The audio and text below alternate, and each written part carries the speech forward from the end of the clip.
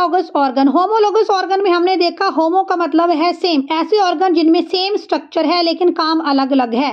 तो analogous organ इसका different होंगे।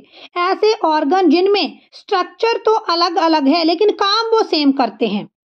एनालॉगस ऑर्गन में फ़र्स्ट एग्ज़ाम्पल रहेगा wings of birds and insect आप वर्ड्स के विंग्स को देखिए। इनसेट, आप तितली के विंग्स को देखिए, दोनों की बॉडी स्ट्रक्चर में कितना डिफरेंस है। लेकिन काम दोनों सेम ही करते हैं। पक्षी भी अपने विंग्स का उपयोग उड़ने के लिए करते हैं और बटरफ्लाई तितली भी अपने विंग्स का उपयोग उड़ने के लिए ही करती है। तो स्ट्रक्चर यहाँ टोटली डिफरेंट है, लेकिन काम, कार्य यहाँ पर सेम है। एनालोगस ऑर्गन मीनिंग समवृत्ति अंग।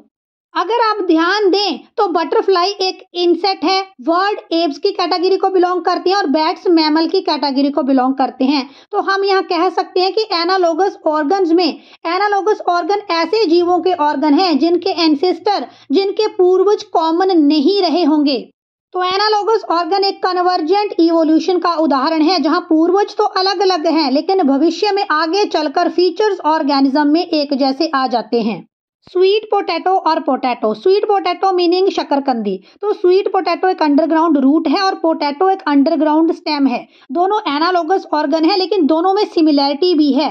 सिमिलैरिटी क्या है कि दोनों ही स्टार्ची फ़ूड आइटम्स हैं। तो स्वीट पोटैटो और पोटैटो एनालोगस ऑर्गन का उदाहरण है। फ्लिपर्स ऑफ़ पेंगुइन और डॉल्फिन भी एनालोगस ऑर्गन का उदाहरण है। दोनों का स्ट्रक्चर तो अलग अलग है, लेकिन काम दोनों का सेम है। दोनों ही स्विमिंग के लिए अपने फ्लिपर्स का उपयोग कर लेते हैं। पेंगुइन एम्फीवियन है लैंड और वाटर दोनों में ही रह सकता है, लेकिन दोनों ही जीव अपने फ्लिपर्स का उपयोग तैरने के लिए करते हैं।